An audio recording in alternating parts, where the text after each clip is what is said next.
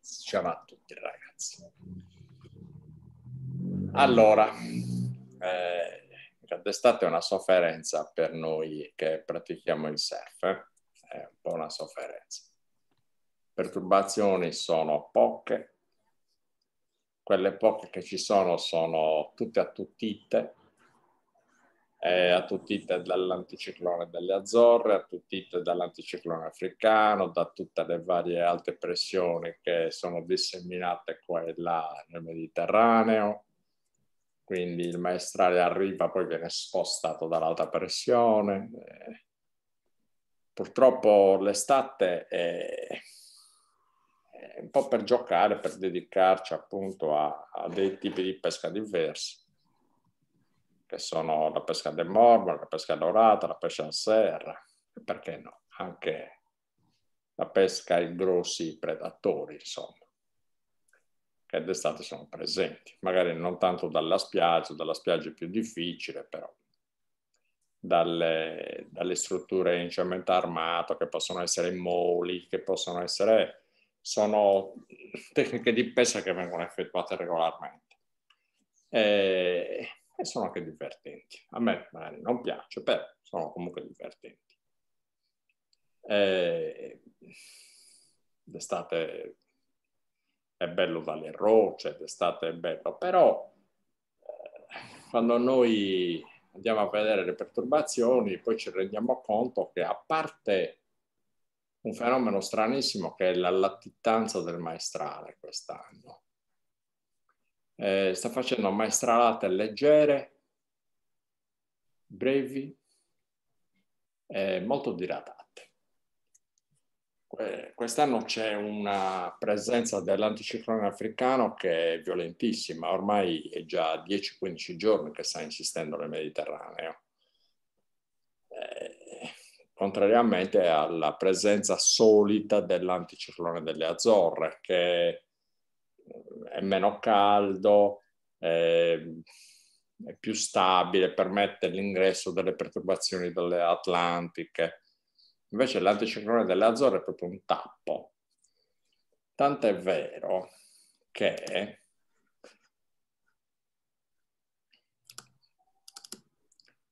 Vediamo un pochettino se ci riusciamo. Eh?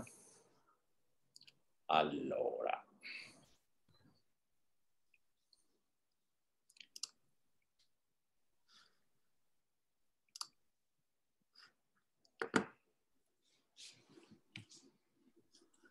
Questo è, è il classico esempio attuale. C'è un tentativo di maestrale, vedete? Però è, è deviato, c'è un'alta pressione qui, c'è un'alta pressione al centro della Sardegna, c'è un'alta pressione sulle Baleari. Eh, domani, per esempio, Pietro Acerbi, Adesso andiamo a cosa. Allora, domenica, lunedì. Guardate, doveva esserci l'ingresso di una maestralata. Vedete che c'è un tentativo di ingresso martedì. Allora, in condizioni invernali questa sarebbe una maestralata tutto sommato anche abbastanza forte. Invece guardate d'estate cosa succede. Qui c'è un'alta pressione, guardate, vedete che ruota in senso orario?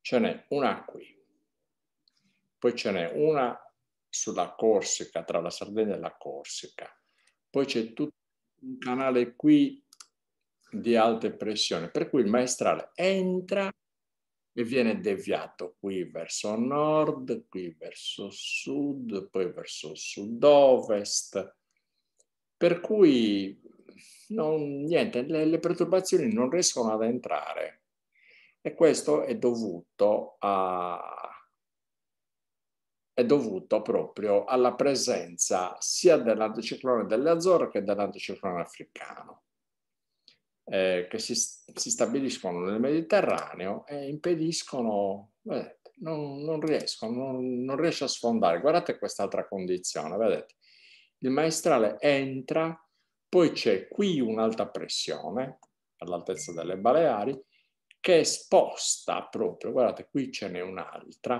qui c'è un'altra, un'altra alta pressione ancora, vedete come viene spostato proprio la perturbazione che viene da maestrale, arriva tutta completamente attutita, guardate qui.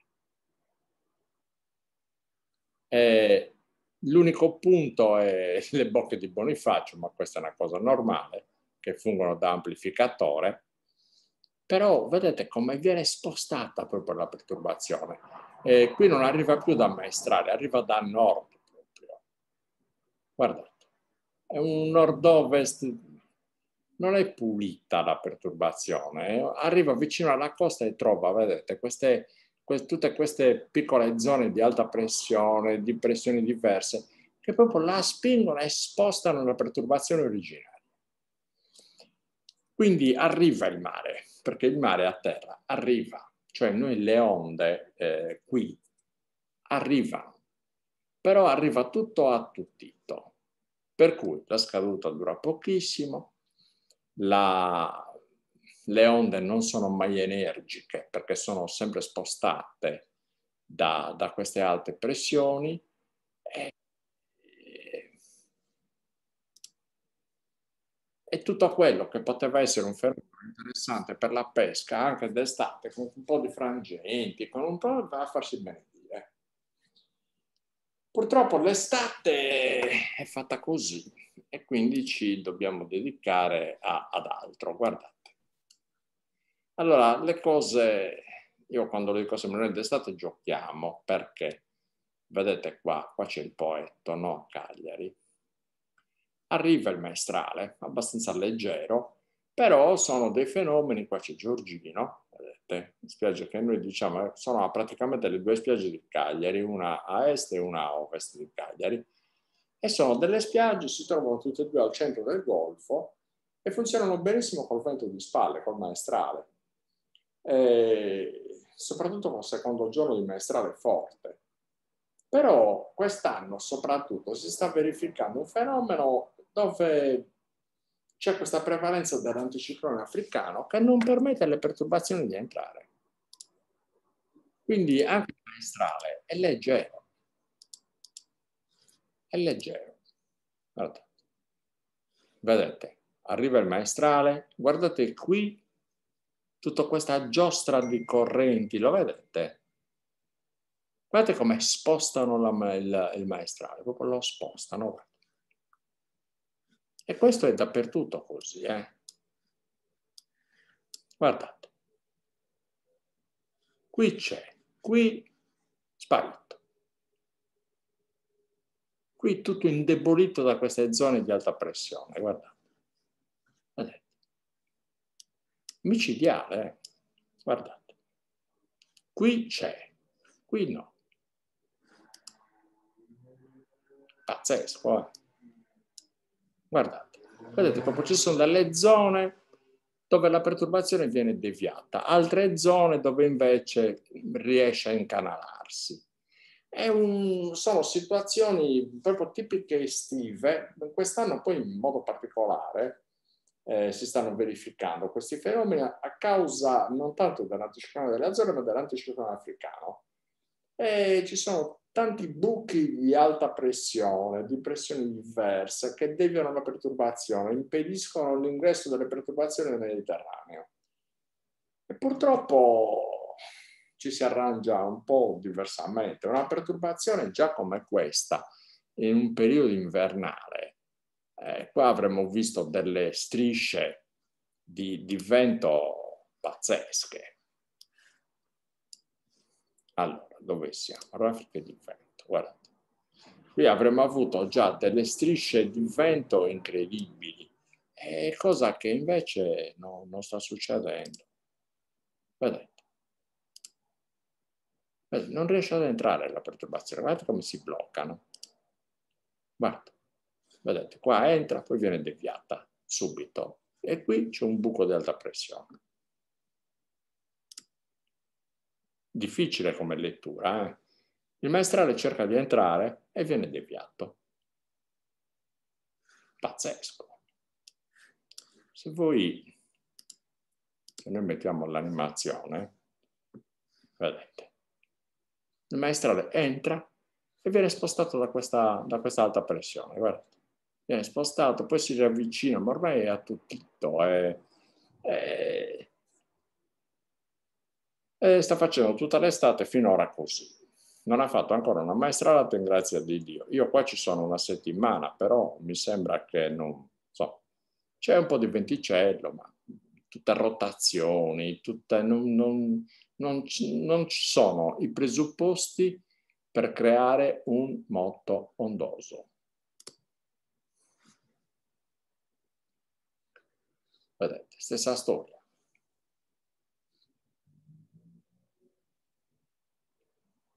Guardate, qua c'è un'alta pressione pazzesca, vedete?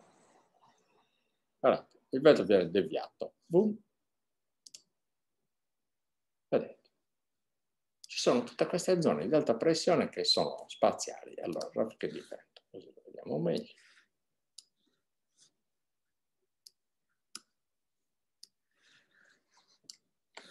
Guardate, vedete questi, queste zone di alta pressione, guardate. Cioè già è difficile d'inverno scegliere gli spot. In queste condizioni è, è un'impresa. Guardate questo buco di alta pressione, guardate, guardate. E le perturbazioni vengono deviate. Guardate questa maestrale, eh, entra forte, eh. questa è domenica. Entra forte, eh. poi però c'è questo buco qui che la prende e la sposta. Guardate. Vedete? Guardate come la sposta. Questa alta pressione, eh? forma, da, forma un tappo proprio, la prende e la sposta. Ciao. Poi arriva un po' di vento, ma a terra però. Guardate. Vedete questa alta pressione. Quindi d'estate, ragazzi, d'estate si gioca d'estate si gioca, non, è difficilissimo affrontare una, una perturbazione vera, insomma. Guardate. Vedete, anche qua c'è un altro ingresso di maestrale, però poi ci sono tutta una serie di buchi di alta pressione che la spostano. Guardate, guardate. ci prova, eh? vedete? Questo è maestrale vero, eh? Maestrale forte, eh? si parla di 50 nodi, 50 nodi. Però poi, guarda, fermo, tutto fermo, guarda. Non ci arriva. Guardate, qua ci sono 50 nodi di vento, eh. qui invece 17 nodi. Però questa perturbazione d'inverno avrebbe prodotto 20 da 50 nodi, eh, 100 km h Invece d'estate bloccata. Trova il muro eh, della, dell'anticiclone, sia dell'Azzorre che dell'Africano, vedete, non le permette di entrare. Il Mediterraneo è, è bloccato. Quindi riuscire a progettare una battuta di surf d'estate proprio non se ne parla. Eh, molti di noi, quando arrivava giugno, appendevano le, case, le canne al chiodo fino a ottobre. Ma perché? Per queste situazioni. Perché vivendo il nostro surf eh, da una situazione creata da, da, da, perturbazioni, da basse pressioni, da, il surf vive di queste cose. D'estate intanto vengono a mancare tutti i presupposti. Eh, se qualche mareggiata arriva, eh, vedrete che dura poco. Per quanto sia forte il vento, ha sempre una durata molto limitata e poi eh, la, la, velocità del vento eh, lascerebbe presupporre una forza del mare molto superiore. Invece vedete che d'estate magari c'è un vento a 100 km h che in condizioni invernali avrebbe creato un, una mareggiata forza 8 eh, invece da noi d'estate un vento da 100 km h magari ti crea una mareggiata forza 5-6, se vuoi. Eh, questo è dovuto a tutta questa serie di, di, di blocchi sul Mediterraneo che sono dati dalle, dai vari anticicloni che poi garantiscono l'estate, perché sono queste le condizioni che garantiscono bel tempo sul Mediterraneo. Quindi col surf siamo fritti, non c'è storia. Eh, quello che possiamo fare invece è un gioco fantastico, qualcuno di noi ci sta anche provando, un gioco ai grossi predatori, insomma, che d'estate, complice anche la temperatura dell'acqua, perché non dimentichiamoci che i grossi predatori si mettono in moto quando la temperatura dell'acqua cresce su correnti calde oppure quando aumenta la temperatura dell'acqua, per esempio parliamo di tonni, parliamo di squali, di riccioli, le, sono tutte presenti quando la temperatura dell'acqua è alta attorno ai 25-26 gradi, loro si trovano al loro agio, si avvicinano a terra e sono anche facili da insidiare. Eh. Sono dei posti dove eh, si avvicinano a terra abbastanza facilmente. E una cosa importante è che eh, quando viene intercettato un passaggio di questo tipo di prede, eh, queste prede passeranno sempre in quella zona, eh? perché se per esempio capita, ci sono delle zone in Sardegna, per esempio le verdesche, eh, a Costa Rei già 40 anni fa, io mi ricordo, noi qualche pomeriggio le vedevamo a 20 metri da riva che nuotavano. Beh, a Costa Rei, Calassinzias, tutti gli anni si vedono le verdesche vicino a riva. Cioè, quindi c'è qualcosa eh, nella loro rotta di pascolo che le porta in quella zona sempre negli stessi posti.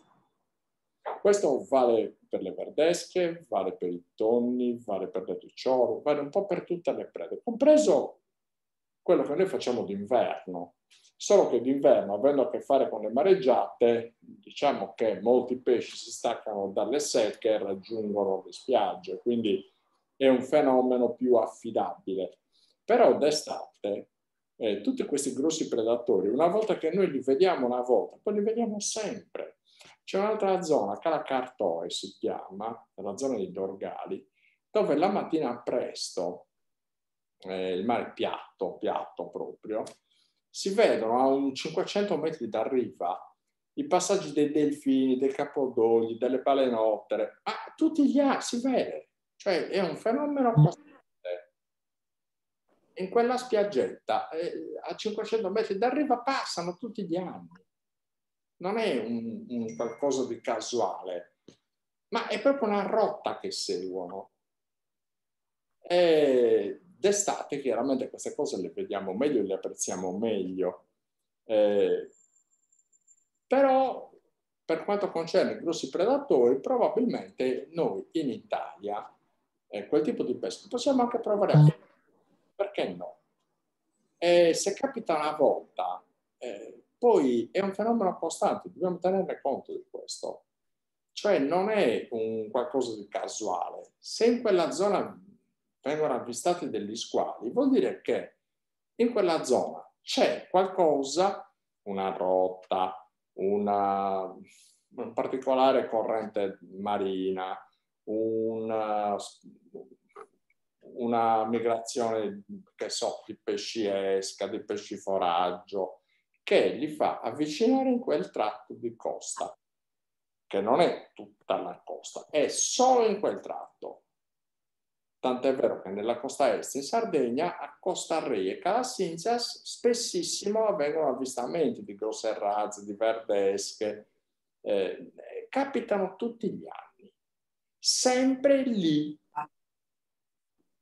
sempre lì. Ora è chiaro che se ci dedichiamo a questo tipo di pesca, non è che possiamo andare a fare molto, insomma, è un tipo di pesca molto sportivo, complesso, dove servono attrezzature di un certo tipo, dove insomma, un pesce che ti arriva, un pesce che già pesa 60-70 kg, è una preda importante, che servono attrezzature di un certo tipo e soprattutto serve esca. Eh, l'esca, a meno che non sei su un fondale molto, che però in Sardegna da noi c'è giusto qualche spiaggia, eh, devi portarla fuori l'esca. Comunque devi portarla fuori o col canottino, con un kayak, o con... però l'esca va portata fuori. Per insidiare pesci del genere ci vuole esca. Però io, per esempio, sono sempre stato convinto che abbiamo delle zone in Sardegna dove si può fare non solo, ci sono anche delle zone eh, in Italia dove si può fare questo, nella penisola, ci sono sicuramente delle zone in Sicilia, vedi lo stretto è una di queste per esempio, eh, ci sono delle zone in Calabria dove si possono fare, ci sono anche delle zone in Puglia dove si possono fare.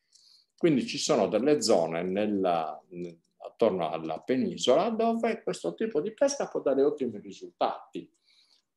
Eh, bisogna avere attrezzature grosse perché se ti arriva un pesce importante in canna, uno squalo, a te non te ne fai niente, cosa fai? Lo tieni? No, lo liberi, no? Però per liberarlo devi anche stare attento a creare il minor danno possibile, eh? perché tu non puoi tenere uno squalo tre ore in un combattimento, deve essere un combattimento di 20 minuti. Eh, quindi quello arriva a terra, viva e vegeto, lì togli là, ma questo parte. Ma se tu non utilizzi attrezzature adeguate, eh, ti gestisci un combattimento in un'ora, un'ora e mezza, poi alla fine quello squalo non lo salvi più. Quindi una raccomandazione a chi decide di fare questo tipo di pesca è di farlo con attrezzature adeguate. Cioè devi poter tirare, devi poter salparlo nel più breve tempo possibile e ci vuole attrezzatura, perché se questo combattimento dura troppo, eh, poi il pesce lo ammazzi durante il combattimento, invece devi essere certo di portarlo a riva vivo e vegeto, che è quello che fanno in America, fanno questo tipo di pesca con attrezzature molto pesanti, il combattimento dura 20 minuti, con un martello di 200-300 kg dura mezz'ora. Cioè bisogna essere eh, molto attenti a queste cose, eh, perché un pesce del genere cosa te ne fai? Se anche ti arriva, ancora ancora una ricciola, ma io per esempio questi pesci li rilascerei tutti, me ne porto a spasso, non li tolgo manco fuori dall'acqua, li faccio una foto in acqua e poi li tolgo là e li rilascio. Eh, questo è il, il significato nel fare questo tipo di pesca. Ci sono dei posti dove si può fare, eh, sicuramente qualche risultato si ottiene, però ci vogliono attrezzature adeguate, esche adeguate, bisogna portarle fuori eh, non al lancio perché con il lancio non puoi lanciare mezzo chilo di esche così, eh, soprattutto a una distanza sufficiente. Eh, eh, potrebbe essere un, un tipo di pesca che d'estate ci porta a a provare l'ebbrezza di quelle catture che sono tipiche dell'oceano, più che dei nostri mari. Però anche nei nostri mari ci sono, noi abbiamo esperienza di gente che ha sempre catturato questo tipo di pesci. Nella zona di Oristano ho sempre, hanno sempre catturato verdesca, hanno catturato tonno, hanno catturato ricciolo, hanno catturato lecce, ma parliamo tutti di pesci oltre 30 kg, insomma. Eh, e secondo me queste cose si possono fare un po' dappertutto. Bisogna stare attenti e trovare quei posti dove queste prede si avvicinano a riva. Perché una volta che sappiamo che si avvicinano lì, siamo certi che comunque non è un fenomeno casuale, è un fenomeno costante. Eh, ed è un tipo di pesca molto divertente, insomma a patto che venga fatto con le attrezzature giuste, eh, questo per garantire anche il rilascio del pesce in salute, insomma. Perché con attrezzature molto sportive il combattimento si prolunga troppo e o perdiamo il pesce o lo ammazziamo, per cui è inutile insomma, fare quel tipo di ragionamento. Bisogna farlo con attrezzature sovradimensionate, dove il pesce lo togli fuori nel più breve tempo possibile, lo rimetti in acqua, lo ossigeni e quello parte. Ed è un tipo di pesca molto sportivo, molto divertente per chi ama eh, i combattimenti impegnativi, io sono sempre stato uno di quelli, eh, sono emozioni veramente importanti. Nel massimo rispetto, chiaramente, sempre delle, delle prede, insomma. perché poi se anche catturiamo una verdesca non ce ne facciamo niente e, e sarebbe eh, sciocco eh, so, privare, eh, ammazzare un pesce di quel tipo per che cosa? Per farlo vedere in giro, no? È molto meglio fare due foto è ancora in acqua, poi rilasciarlo e farlo andare via e restituirlo al mare. Insomma, d'altronde ci ha regalato un bel combattimento, un'emozione incredibile, ce la ricorderemo per tutta la vita e già questo basta abbastanza a ringraziarlo, insomma, e lasciargli restituire la libertà. Quindi d'estate vengono a mancare le perturbazioni, d'estate diventa eh, tutto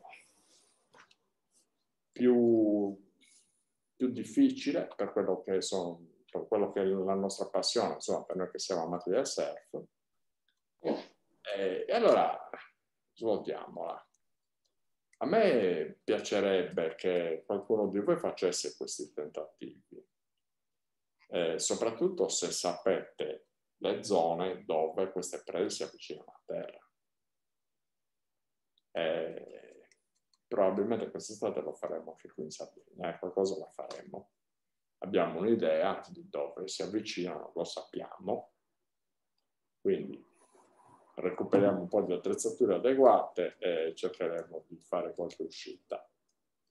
E se poi arrivano questi pesci, cioè, cioè da, sono, sono, divertenti, sono, eh, sono combattimenti impegnativi, sono sempre nel massimo rispetto, però perché stiamo andando a catturare pesce, non è che andiamo a cucinare nel forno, insomma, ce ne facciamo noi, dobbiamo rilasciare. Quindi tutto nel massimo rispetto del, del, della natura e di questo tipo di pesci. E se ce ne arriva uno e ci dà quell'emozione, cioè, devi ridare libertà. Non, non ha senso fare diversamente. Voi ci avete mai provato? A voi ragazzi.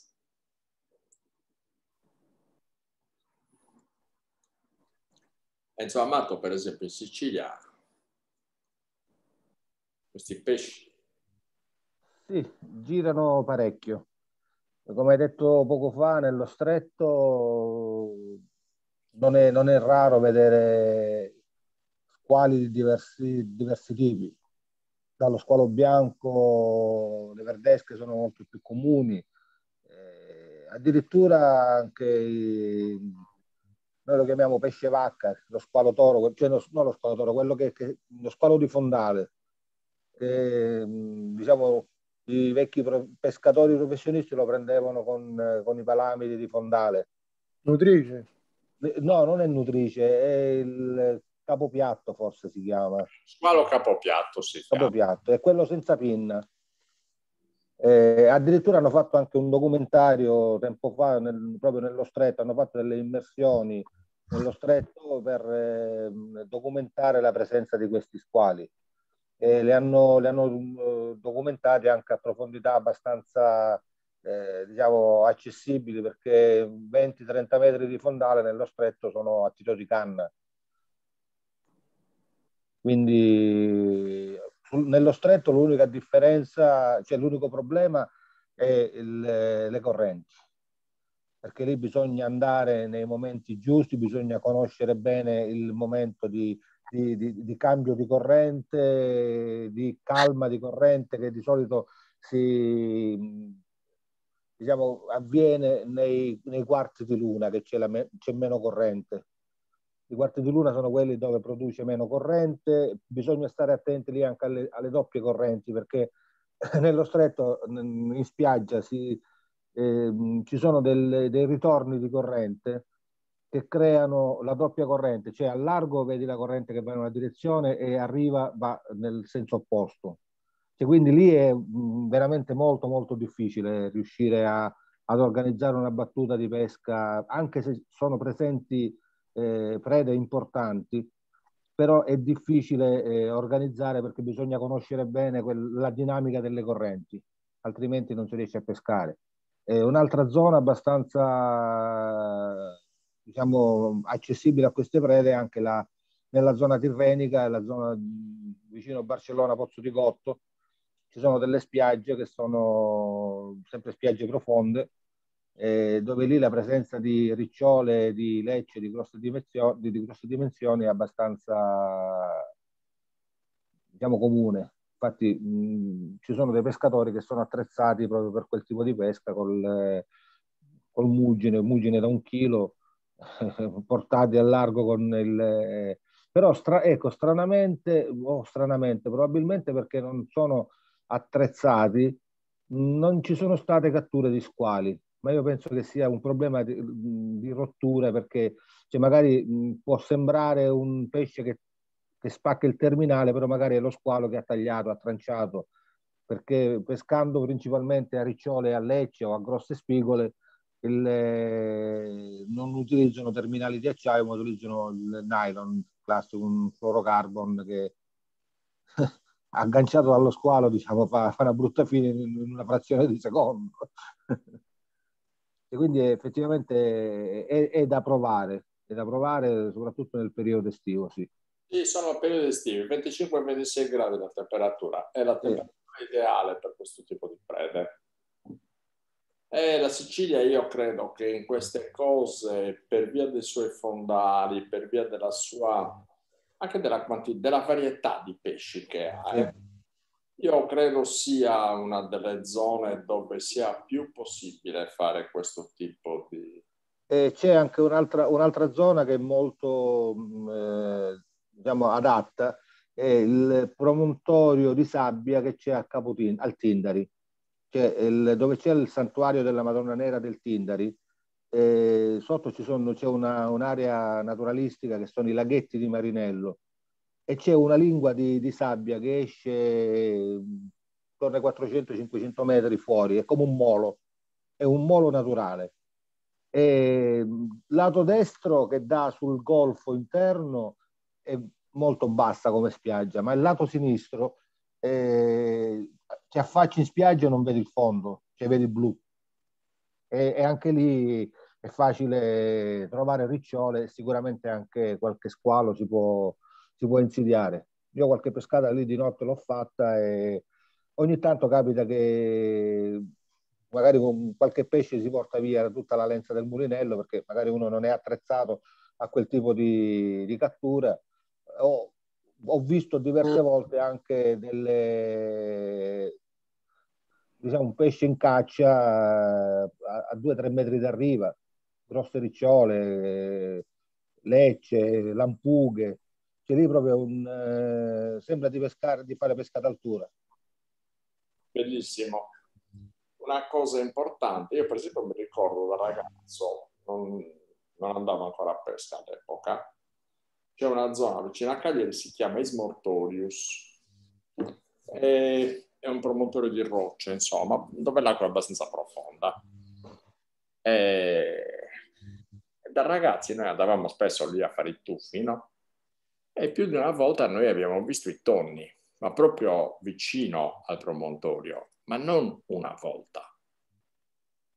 Quindi vuol dire che in quella zona passano lì, passano vicini, perché poi è una cosa che andavamo spesso da ragazzi lì e noi estati, eh, ogni estate almeno una volta lo vedavamo. Quindi vuol dire che in quella zona c'è quel tipo di di passaggio, insomma, e in quelle zone vale la pena fare quei tentativi. Eh, eh, Marco, scusami, c'è anche, esempio, nel Golfo di Milazzo, eh, dove fino agli anni 40-50 erano presenti almeno tre, tre, o quattro tonnare abbastanza grosse, e lì è un punto di, diciamo, di nidificazione del, di, de, dei tonni. E infatti nel periodo di ottobre i vecchi pescatori andavano a traina a, a prendere i, ton, i, tonnetti. E neanche 4-5 mesi fa mi è capitato mentre passeggiavo sul lungomare di vedere un, eh, un branco di pesci che schizzava fuori dall'acqua e dietro un tonno di una trentina di chili che ha, saltato, ha fatto un salto, è uscito praticamente tutto fuori dall'acqua quindi dove c'è il tonno è anche probabile che ci sia lo squalo. Certo, ma poi eh, voi vi siete mai chiesti perché le tonnare le mettono sempre negli stessi posti, no? perché vuol dire che eh, la tradizione in passato e l'esperienza ha insegnato che lì c'è quel tipo di passaggio dei tonni. E non è che le tonnare sono un'invenzione moderna, eh? esistono da secoli, quindi eh, il momento in cui vengono posizionate sempre nei stessi posti e funzionano tutti gli anni, vuol dire che in quel punto esiste quel tipo di passaggio, cioè ci sono delle correnti o ci sono delle migrazioni o ci sono, per un motivo o per l'altro, lì passano. Quindi una volta che noi sappiamo dove passa questo tipo di prede, poi diventa ripetitiva la cosa. Perché non è che passa oggi, passa anche l'anno prossimo, passa anche l'altro anno ancora, sono sempre lì, eh. Passano e si avvicinano, arriva sempre negli stessi punti sempre negli stessi punti. Quindi per quello dico che la Cinzias sicuramente è Costa Rey. Noi li abbiamo sempre visti e tutti gli anni c'è sempre qualche verdesca che o si arena o te la trovi proprio, proprio tocca il fondo, cioè la, la vedi a tre metri da terra, dal bagnasciuga proprio. Le abbiamo viste, le ho viste io, le hanno viste altri amici, tutti gli anni. Quindi sono queste zone dove questo tipo di pesca eh, può essere divertente provarlo. È un'esperienza nuova per molti, eh? però potrebbe essere un'esperienza mica da ridere, insomma. E poi magari scopriamo che non c'è bisogno di andare tanto tanto in oceano. In oceano abbiamo chiaramente una catena alimentare complessa, Qui da noi però magari ci sono questi punti dove diventa un bel gioco, eh? Dove diventa veramente un bel gioco e secondo me può dare degli ottimi risultati, però una cosa, non si possono fare le cose a metà, cioè quando si fa caccia di grossi predatori bisogna essere attrezzati per i grossi predatori, cioè non devi usare tutto perfettamente rapportato. Eh, se, 120 libbre, 120 libbre, l'amo, il cavo. Il cavo può essere anche 400 libbre, non è importante. Però deve essere tutto rapportato e deve essere tutto in grado di poter togliere questo pesce fuori nel minor tempo possibile. È inutile andare con mulinelli rotanti anche da 20 libbre, eh? perché ti arriva un pesce da 70 kg, ti svuota il mulinello e... e anche 30 kg. Si porta a spasso tutto il filo e muore in uno nell'altro, insomma, quindi eh, bisogna farlo a ragion veduta e poi bisogna fare solamente quello. Cioè non devi mettere due canne orate, una canna a squadra, una canna... non ha senso, insomma. Non... È preferibile prendersi il sole eh, con due canne messe lì con due muggini da, da, un chilo, portate fuori i canottini e aspettare anche tutto il giorno. Tanto non, non è che per mangiare stiamo aspettando quei pesci, insomma. E può essere un'esperienza nuova, però può essere anche una nuova eh, scoperta del nostro Mediterraneo, eh, che io sono convinto funzioni, ma da sempre. E questo lo dimostrava questo, questo pescatore che c'era Oristano, che faceva solo quel tipo di pesca e lui prendeva tonni, prendeva pesca, prendeva ricciole. E li prendeva, ma ne prendeva in quantità tutti gli anni. Andava in questo posto e quello faceva. Andava con Molinelli dalla traina e lui quello faceva e li toglieva fuori e li rilasciava pure.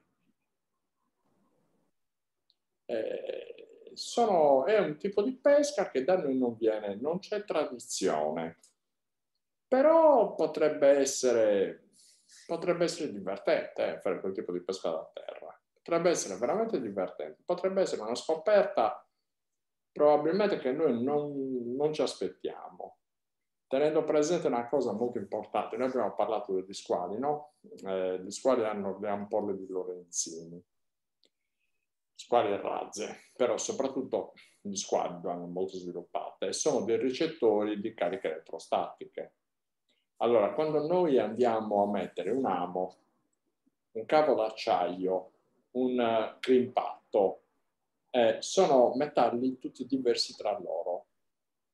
Quindi l'amo è un tipo d'acciaio, il crimp può essere in alluminio rame, l'acciaio del cavo è ancora un altro. Questi metalli diversi, per, uh, ci sono degli scambi di cariche elettrostatiche che vanno isolate.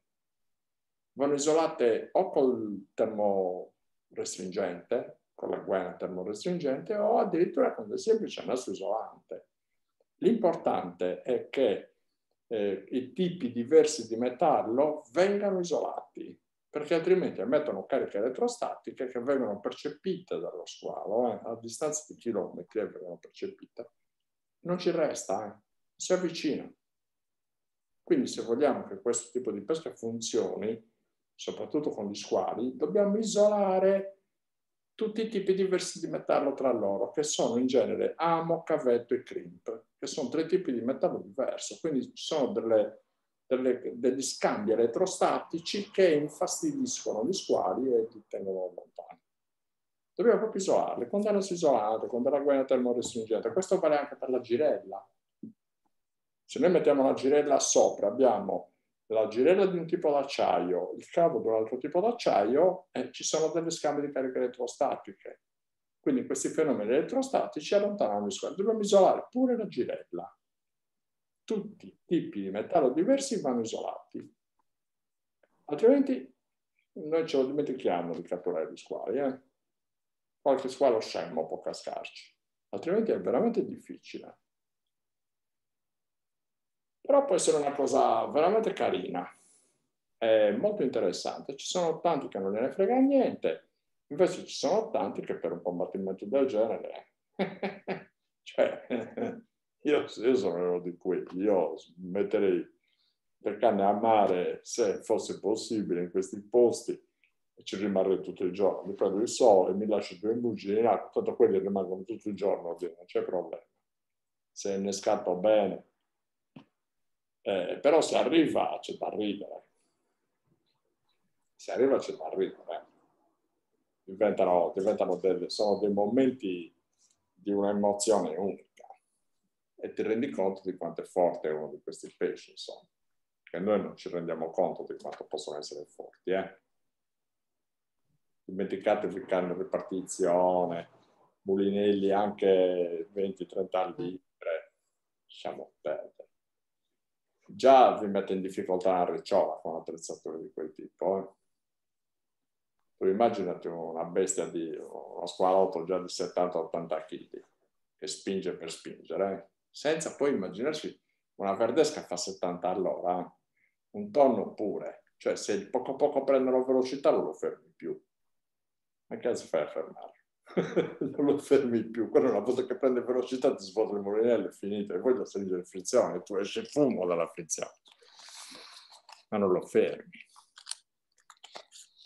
Eh, sono esperienze molto belle. Eh? E d'altronde questi pesci in acqua ci sono. In mare ci sono. Per cui perché non provarci? Perché non provarci? L'estate è il momento migliore per fare questo tipo di esperimenti. Io in Sicilia lo farei sicuro, eh. in Sardegna lo farò, so anche dove, so che cosa serve, bisogna recuperare l'attrezzatura, però sicuramente qualche, qualche tentativo lo farò. Poi non è detto che riesca, non è detto che riesca, è difficile, bisogna conoscere veramente bene i posti per fare queste cose. Però il giorno che imbrocchi una, poi sai che in quel punto ci sono delle ottime possibilità, insomma. Bisogna solamente azzeccare il posto. E un'altra cosa, secondo me si può fare anche in Adriatico questo gioco, eh? Secondo me si può fare molto bene l'Adriatico. L'Adriatico è ricco di tonni, è ricco di squali, è ricco, anche se è basso, però è, insomma, i migliori pescatori di tonni sono quelli dell'Adriatico, non dimentichiamocelo, eh, sarà un caso, insomma.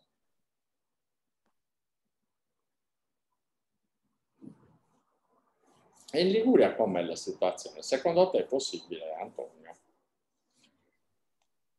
Allora, in Liguria in realtà qualche eh, diciamo, spot per poter fare questo tipo di, di esperienza esiste, è, è, già stato messo in atto. Eh, adesso eh, io conosco di un luogo abbastanza frequentato che fanno eh, pesca a, alle grosse lecce, alle Amia, ad Albissola verso Savona. Lì c'è una zona in cui è, è riconosciuto, insomma, un luogo abbastanza frequentato da, da anni e dove sono state fatte diverse catture di, di, di, grande, di grande, rilievo. Ecco. dalle mie parti sul Levante i pesci non mancano, ci sono. Eh, c'è una spiaggetta nel, vicino, diciamo, eh, si chiama Framura, una spiaggetta, Framura che è una spiaggetta molto profonda e in cui mh, diverse sere eh, con i miei amici siamo andati, con i miei compagni di squadra, siamo andati a fare un po' di, di, di pesca estiva, appunto, come stavi trattando, e mettendo mulinelli un po' più grossi del normale, tipo gli slosh d'Aiva, sai, quelli un po' slosh 20, slosh 30, eh, dei PEN 980, tanto per fare un po' gli sciocchi, no? provare un po' il pesce grosso. E lì, ecco, lì abbiamo fatto diverse, eh, diverse strike eravamo un po' impreparati, poi alla fine nel tempo poi qualcuno qualche, ha preso qualche grosso grongo sugli 8 kg e, e, sembra che sia uscito, adesso io non c'ero quando è stata anche una verdesca. Eh, questa, io devo ammettere che non sono un, un, cultore della pesca del grosso, grosso pesce, ecco, eh, mi accontento, però eh, c'è menzione di questa, ecco, viene la mia zona poi è molto rocciosa, va molto a strapiombo sul mare e questi tipi di pesci eh, sono, sono, più che altro insidiati dalla pesca professionale. Ecco. Eh, ci sono, sono mol, mm, perché c'è moltissimi professionale e semiprofessionale, diciamo quelli appassionati con, con, le imbarcazioni. Quindi c'è spessissimo la traina di sottocosta, viene effettuata nei periodi autunnali o preautunnali e comunque ricciole, dentici vengono spesso catturati. Eh, sì, è, è poco, cioè, c'è poco la cultura, ecco. Non, esiste il facile accesso a, queste, a questi luoghi, perché mh, purtroppo eh, le, nostre, le nostre coste sono molto a strapiombo, quindi eh, sono pochi i, i, i, luoghi a cui si può, si può, accedere per poter fare questo tipo di pesca. Eh, o si va nelle spiagge, che sono praticamente tra uno strapiombo e l'altro delle insenature di sabbia, e allora lì sì, si può trovare di tutto, ma generalmente si fa la pesca che tutti quanti conosciamo. Eh, oppure sì, ci si avventura in questi strapiombi e allora sì, si può andare incontro a, questo, a queste catture particolari eh, che però richiedono anche una bella dose di tem- temerarietà, insomma bisogna essere eh, prima che dei pescatori degli scalatori. Eh. Quindi sì, no, sono, sono, convinto, cioè so, sono a conoscenza, perché sono testimone del, dell'avvento di catture di certo rilievo, la Liguria è una è una zona che si presta moltissimo, eh, ci sono eh, molte, molte, rocce, molte insenature che ospitano eh, pesci di, oppure a, a, um, stimolano la curiosità di grossi pesci che si avvicinano alla costa. E um, forse, forse sarebbe la necessità di fare, diciamo, di ospitare una sera persone che hanno molta più dimestichezza eh, confermo, ecco, mm, sicuramente ti confermo l'esistenza di, queste, di questa realtà, di questa ricerca del pesce di grossa taglia, sì, questo senz'altro. Poi vabbè, eh, mm, la, la, nostra, la, nostra, zona, la nostra, la nostra eh, diciamo costa, eh, nelle prime miglia è anche luogo di, di passaggio di tonni, grossi, eh, grossi pesci, insomma squali, ce ne sono tantissimi, toni verdesche, è stato avvistato anche qualche bianco, qualche scaloppo bianco, qualche macco. Cioè, quindi, e, e, siccome fino a, a, prim- a pochi metri da riva ci sono, ci sono discrete profondità, non è detto che eh, questi pesci riescano anche a avvicinarsi. Quindi, eh, facendo, avendo un po' la curiosità e la volontà di fare un, un approccio a questo tipo di pesca, secondo me ci si potrebbe togliere diverse soddisfazioni. Ripeto, è difficilmente accessibile la costa, perché eh, chi, chiunque ha, ha, provato ad approcciarsi alla costa del Levante Ligure sono, eh, sono strapiombi, è tutto uno strapiombo. E quindi eh, qualcuno ci ha provato, ci è riuscito, ma è un'esperienza che fai una volta e la volta dopo ci ripensi a ripetere perché richiede una capacità, un'atleticità particolare, ecco, diciamo questo. Una cosa importante, bisogna stare attenti dalle rocce a fare sto gioco, eh perché attenzione, sono pesci che non è che detieni così, eh. Se arriva un pesce di 100 kg ti, ti fa fare sci nautico, eh. quindi è pericoloso anche insomma, per l'incolumità fisica farlo dalle rocce, bisogna avere delle postazioni ben stabili e solide dove potersi anche muovere, insomma, senza grossi problemi di cadere in acqua. Eh. Da stare attenti a queste cose. Eh, un altro posto che mi viene in Sardegna è Porto Liscia, eh, nella costa nord, vicino all'isola dei Gabbiani, a sinistra, c'è questa spiaggia che è profondissima e lì effettivamente sono state effettuate catture di tonni, catture di grosse ricciole per la spiaggia. Porto Liscia è impressionante, è un porto, è un porto, è una spiaggia che è un porto, è incredibile. Eh, ci sono molte verdesche, per esempio nel nord Sardegna, sono state avvistate vicinissime a riva, anche in spiagge dove non te l'aspetti, tipo Platamona per capirci, eh. si avvicinano proprio, eh, le vedono tutte le estate, quindi non è casuale, non è una volta, è un fenomeno ripetitivo. Eh, può essere un'esperienza fantastica quella. Eh poi d'estate vai col costume, ti porti l'esca fuori col gommoncino, gommoncino da bambini, eh, non è che serve chissà che cosa, insomma. Serve un, qualcosa per portare un'esca a 200 metri da arrivo. E può essere un'esperienza incredibile. Può essere un'esperienza. Servono mulinelli molto capienti perché se già porti un'esca a 200 metri da riva, eh, poi mettici in conto altri 100-200 metri di fuga, si fa in fretta a svuotare un mulinello, eh. bisogna andare con attrezzature eh, insomma, adatte allo scopo. Però secondo me eh, quello che fanno in America come shark fishing, noi abbiamo dei punti in Italia dove possiamo farlo d'estate tranquillamente. D'altronde non dimentichiamoci che lo shark fishing, per esempio in America, si fa nei mesi estivi, come da noi si potrebbe fare questo questi tentativi. È uguale.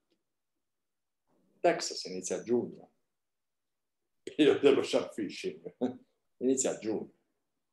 Quindi si potrebbero fare più o meno le stesse cose, magari con risultati molto diversi, chiaro, però è sufficiente che ne uno, insomma, per, per giustificare il tentativo. Eh. Io se me ne arrivasse uno a stagione sarei già contentissimo eh, giustificherebbe il tentativo, insomma. Può essere una bellissima esperienza. Io credo che qualcuno di noi ci stia già iniziando a pensare seriamente e ci vuole provare perché eh, Marco Besso per un posto dove le verdesche gli ruotano davanti, quindi ne ha preso una piccolina di qualche mese, proprio piccolina da poco, ma nata da poco. Ma se ci sono le verdeschine piccole, ci saranno pure le mamme lì vicino. Eh. Quindi è probabile che facendo questi tentativi qualcosa ti arrivi. Eh. È facilissimo. Eh, un'altra zona è Porto Scuso, non Porto Palido, eh. però tutta la zona attorno a Porto Scuso, dove ci sono le tonnare, da Porto Paglia in giù, e lì ci sono questi passaggi. eh, sicuramente fare dei tentativi seri sbagliato non è. A me è successo tanti anni fa, perché noi lo facevamo giocando, giocando, Sì, ma giocando, giocando, ma era svuotato i 10.000 ciclo 60 in bobina, non sono riuscito a fermare, niente, però, eh. Mugine, cavo d'acciaio. Eh, mi era successo ai Zarutas. Ma Zarutas mi era successo. Ma proprio non siamo riusciti a fare niente. Non sono riuscito, però con 4,98 non è che no, con 10.000 all'epoca, ma, insomma, non c'era tutta questa capacità di fila. Però mi è arrivato sta attrezzo mi ha svuotato il mulinello, finito il filo. Ciao. Questa proprio per, per incapacità mia, insomma, perché mai avremmo immaginato che poteva arrivare un pesce di quelle dimensioni. E invece, dai oggi, dai domani, arrivano. Eh. Chi è che sta andando via? Ciao. Eh. Ciao, buonanotte, domani lavoro, quindi sveglia presto. Grazie. Ciao. Alla prossima, ciao. Buonanotte, ciao. Eh, potrebbe essere un bel drogato del questa, questo, questo gioco, eh? perché poi di un gioco si tratta, insomma. Eh, ciao Roberto Perugini, mica ti ho visto adesso, ti ho visto. Luca Girometti. Quindi nella zona di Luca queste, questo tipo di pesca si può fare, secondo me. Beh sì, ci sono tante postazioni interessanti qua, tante scogliere con uh, tanto fondo. Eh, diciamo che tutta la zona uh, Basso Sulcis è abbastanza interessante, ma anche nell'Alto Sulcis, nella zona di, di diciamo, cala domestica, ci sono delle poste molto interessanti.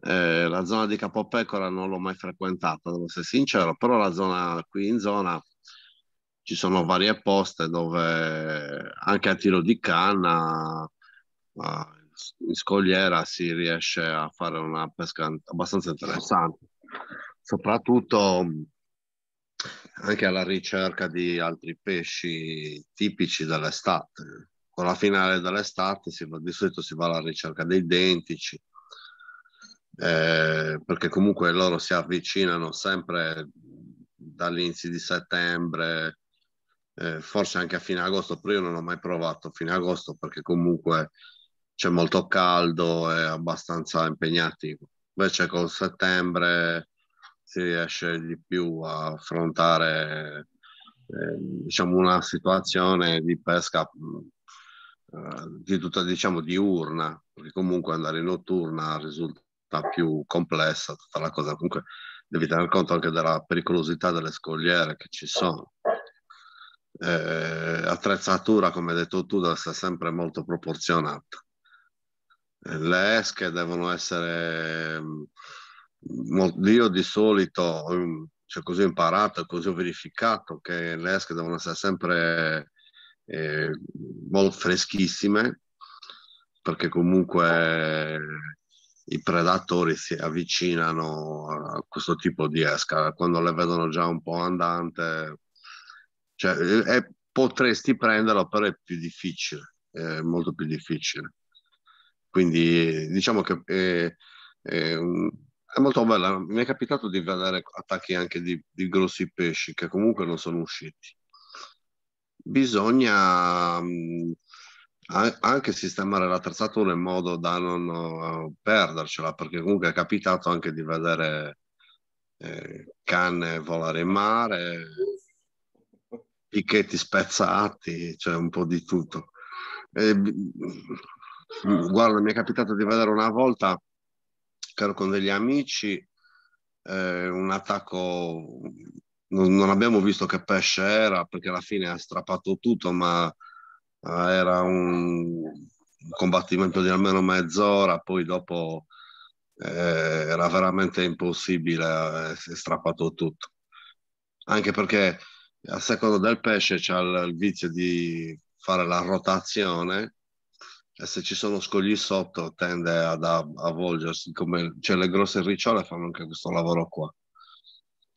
Però come hai detto tu, bisogna cercare di eh, stancarlo il prima possibile, perché se no eh, diventa tutto più complesso. Cioè, se si dà un po' di strada, un po' di spago, eh, eh, risulta molto impegnativa la cosa.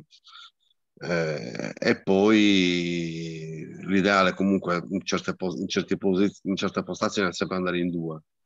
Uno per la sicurezza, l'altro per, eh, perché chi ti incoppa il pesce, eh, soprattutto anche attrezzi, anche copi adeguati, quindi copi abbastanza generosi. A me è capitato raffio, cioè serve se devi portarlo via, altrimenti devi avere, io dalle rocce già sono un po' contrario perché o vai a dentici, allora te lo porti via, ok, ma se ti arrivano uno squalo dalle rocce, eh, ragazzi, quello liberi. Eh no, infatti, ma lo squalo dalle rocce che può capitare, eh? eh beh, le tornare sono vicine, da Capodanno tu le vedi, sono lì, eh.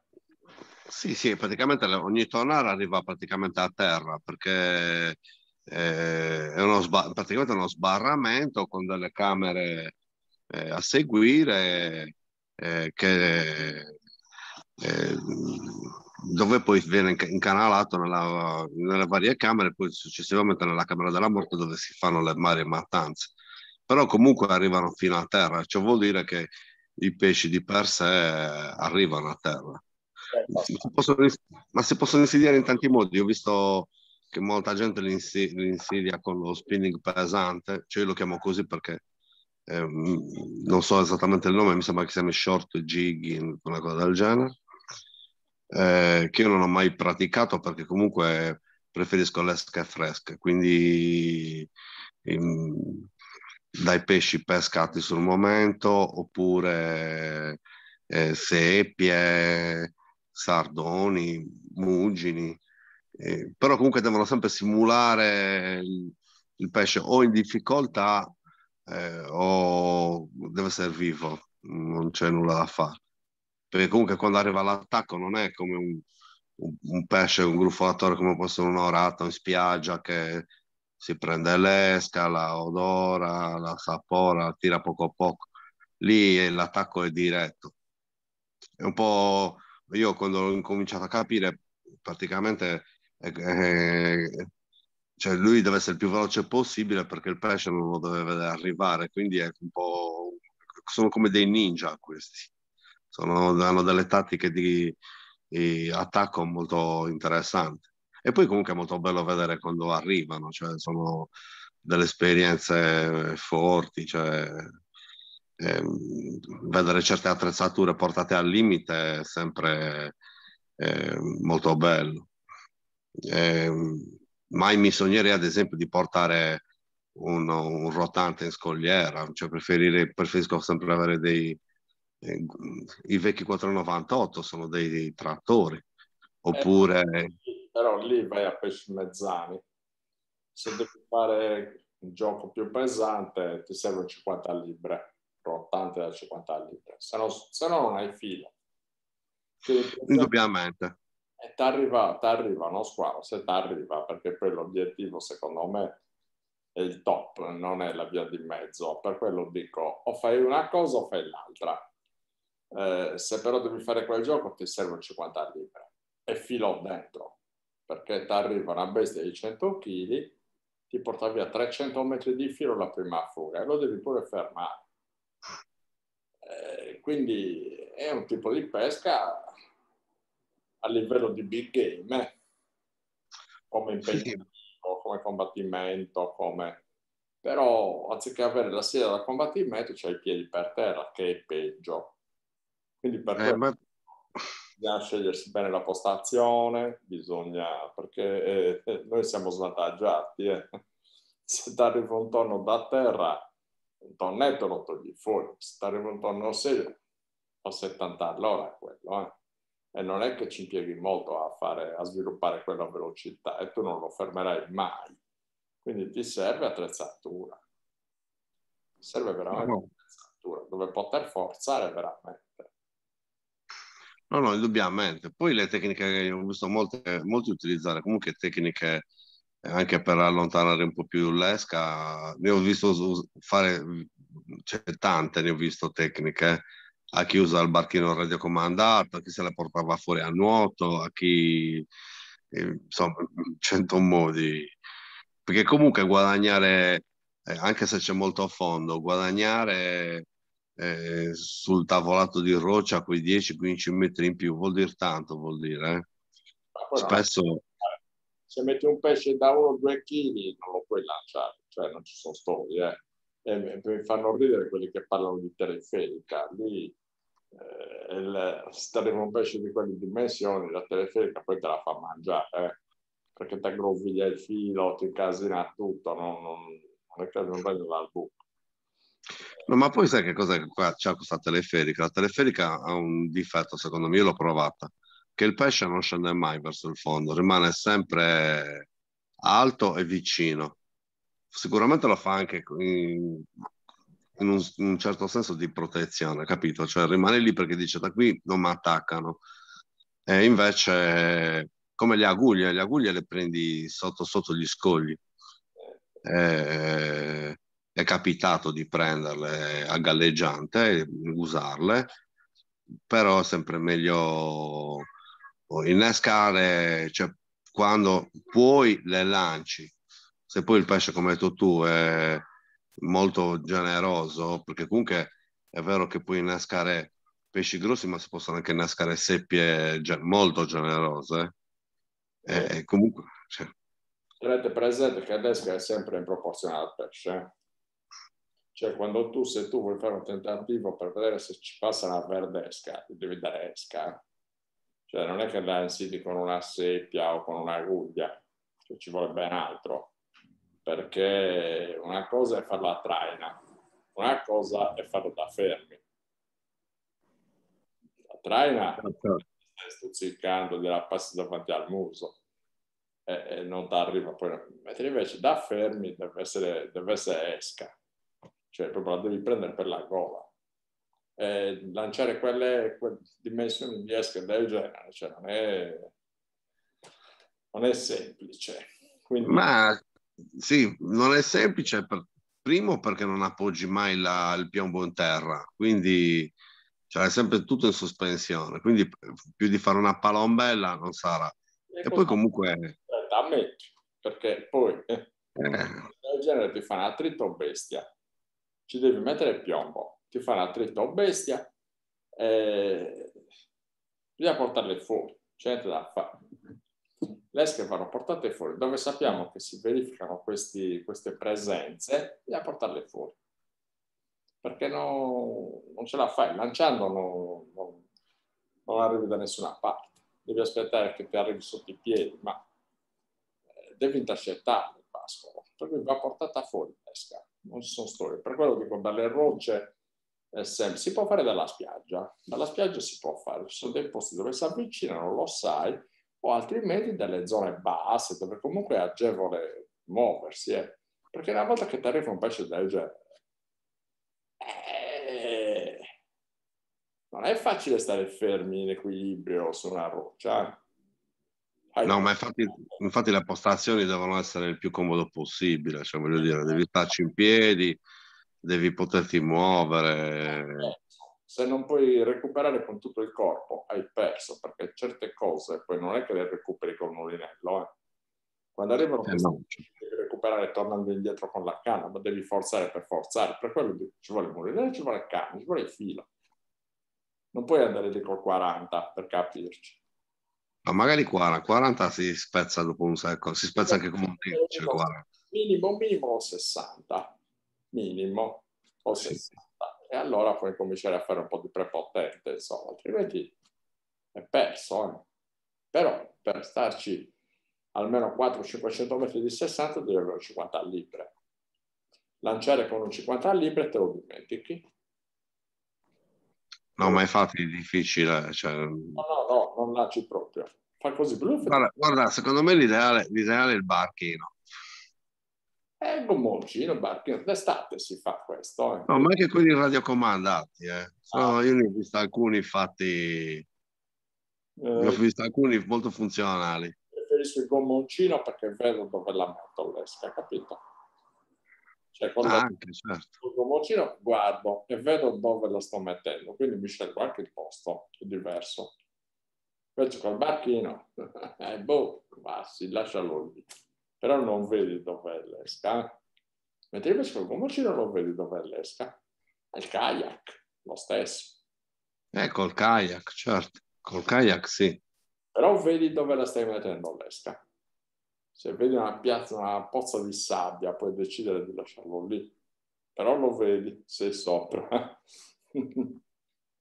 È un tipo di pesca che va fatto d'estate con eh, la parte sportiva e il recupero, non è tutto quello che concerne il lancio. Tu con quelle attrezzature non lanci, però poi dimentichi che con un 50 libbre tu non lanci.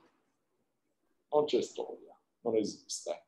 Beh, certo, certo, certo. Devi essere campione del mondo che tu non lanci con il 50 libbre perché non riesci a lanciare, non è possibile. C'è uno spunto talmente lento, un'inerzia talmente elevata che tu quel mulinello non lanci. Fai 20 invece se ti va bene, tu cade nei piedi.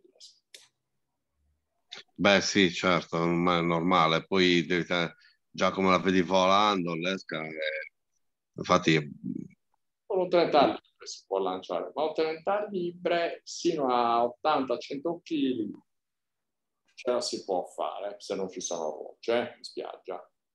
Metti il trecciato, Marco. E il trecciato non è che ti aiuta, eh. Però il trecciato da 50 libbre è uno 0,25. perché non hai elasticità. Allora, in questo tipo di pesca ti serve l'elasticità, ti aiuta, Eh, lo so. perché tu stai tirando, eh. Tirare con un filo che ti dà elasticità è un conto, tirare con un trecciato, tu, gli ha, tu dove va l'amo lo apri, eh. Ma poi, ma poi secondo me il trecciato ha un problema, che se raschia sulla- la- sullo scoglio si spezza subito, secondo Quello, me. quello è il problema più grosso del trecciato. Comunque ricordati Infatti, il trecciato andando a squali, per esempio, mm, solo se hai un fisso, ma perché non ci sta a filo però, è a rischio, ma tu hai un combattimento diretto con una bestia che ti fa un mazzo tanto, pensare di uscirne avvantaggiato, mentre invece col filo, anche se è grosso, hai quell'elasticità che ti permette di sopportare meglio una fuga di un certo tipo, insomma. guarda, guarda, il problema è che si terva anche un tonno di quelli grossi, perché ultimamente io sto vedendo che stanno uscendo tonni molto grossi, no? Ma tonni, tonni. E secondo la posta che scegli, soprattutto dove abbiamo detto, arriva- anche quelli arrivano sotto costa, ma sarà a livello di 40-50 metri al massimo. E se tonno da 300 kg, No. meglio che tagli. Allora, un tonno da 300 kg con la barca lo devi seguire. Eh, appunto, cioè, C'ha due tipi di muscolatura, c'è la rossa e la bianca. Quando fa la prima fuga mette in funzione la muscolatura rossa, che è la più errorata, c'è una potenza stratosferica, tu non lo fermi mai. Poi, una volta che mette in moto la muscolatura bianca e comincia ad andare, ha sempre quella velocità, ti porta spesso chilometri. Quindi non lo fermi. Di quella, con la barca li vai dietro. E fai là e li vai dietro. Quindi da, eh beh, sì. da terra quelle cose te le dimentichi, però pesci anche da 70 kg, 80 kg, queste cose possono arrivare. Eh, sono dei bei combattimenti, eh. Cioè ti rendi, conto, ti rendi conto di quanto è forte uno di questi attrezzi, che ti rendi conto di quanto sei debole tu soprattutto. Perché non lo fermi, non c'è, dopo ti porta via la canna dalle mani, eh, se prendi molto, ti fa camminare con i piedi così sulla sabbia. eh. Però guarda, io, io, io sono esperienze che ogni anno vado a farle, perché comunque danno grandi soddisfazioni, eh. Cioè, eh, cioè, c'è sempre quello spirito di avventura molto, molto bello, molto bello perché comunque stai sempre cercando postazioni molto selvagge, anche la scelta della posta è molto importante, cioè basta uno scoglio sbagliato e non batti chiodo. eh. Una cosa è fare rock fishing, una cosa è fare big game per capirci. Eh, rock fishing è, è un gioco, al confronto è un gioco, per quanto sia impegnativo. Ma se vai a catturare ricciole, squali e qualche tornetto, lì la musica cambia completamente. Lì è veramente una, una guerra, cioè non è, eh, non è come pescare un dencio dice, ma il dencio poi fa un lo fermato, il dencio lo fermi, prendi, metti su, con un 50 libre, lo fermi e lo fai volare fuori dall'acqua. Con 50 libre proprio non c'è storia. Però ti arrivano di questi pesci con 50 libre e tu non lo fermi. E tu vedi che questo tira. E tu come cerchi di fermarlo, quello ti porta in avanti. Non è che ti lascia lì fermo, eh. Eh no, è un divertimento, è, un, è un'emozione incredibile. Beh, come si fa? Come si può fare anche danno? Tralasciando il discorso del rock fishing, che sì è bello, è, però è, insomma, tutto sommato è un gioco abbastanza semplice quello. Invece andando a insidiare i grossi predatori che ci sono, negli spot giusti, eh, lì ti fanno vedere sorcivelli. Eh ma non con mulinellini, lì ci vuole attrezzatura, attrezzatura da traina possibilmente. Eh. No, vabbè, l'attrezzatura da traina già sappiamo dove andrà a prenderla. E là serve. Perché se tagli un pesci devi avere almeno la possibilità di giocartela. Vado un attimo qua dietro, mi faccio passare due canne già... Per quello già, già rimediamo subito, non è un problema. Eh, eh però, però, come hai detto sì, il rock fishing è, una, è, una, um, è un gioco a confronto del big game, però è una grande scuola, capito? Perché già tu ti imposti a, già mentalmente andare a, a catturare pesci di una certa taglia, capito? Non è che eh, stai sempre lì a, a, ti aspetti qualcosa che arrivi di grosso, capito? Eh, a differenza invece della, di andare in spiaggia, che quando tu sei in spiaggia vai con una cioè, ti aspetti anche il pesce grosso, ma vai con una mentalità di, di, di condizione, una cosa un po' diversa, capito? Eh, c'è delle varianti. Serve un'altra cosa, e serve un'altra disciplina, però non puoi neanche fare una via di mezzo, o fai l'uno o fai l'altro, perché sono... Eh beh, certo, certo. Non puoi andare a rock fishing e pescare squali, per capirci. Cioè il rock fishing è una cosa che ha esche più ami, meno, cioè non hai il problema di usare cavetti da 200 kg per esempio, non hai questo tipo di problemi. Invece quando vai a fare quell'altro gioco devi usare attrezzature eh, violente e quindi se ti arriva, ti arriva male. E siccome ci sono, si avvicinano, si arriva, prima o poi quello che ha fame lo becchi, eh. Eh no, può capitare, certo, certo. C'è vedere la canna che comincia prima a sfiziona poco a poco, poco a poco, poi sempre un po' di più, poi, sempre, poi accelera sempre di più. Allora lì prendi la canna in mano, tu ferri e la canna si riabbassa e continua a tirare. E tu tiri e quello continua a tirare e tu non riesci a sollevare la canna. cioè lì la musica cambia completamente. Sono esperienze che si possono fare. No, esperienze che si possono fare io credo che possano dare delle grandi soddisfazioni. Eh. Marco è uno di quelli che ci sta per provare. Marco adesso ci prova e secondo me ci riesce pure. E dipende dove va. Dipende dove va.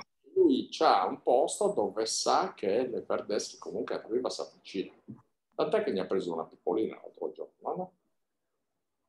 Eh, non, non hai visto il, il, video, anche da noi, se come hai detto tu, però lì a Teulada c'era la verdesca a un metro dagli scogli sulla sabbia.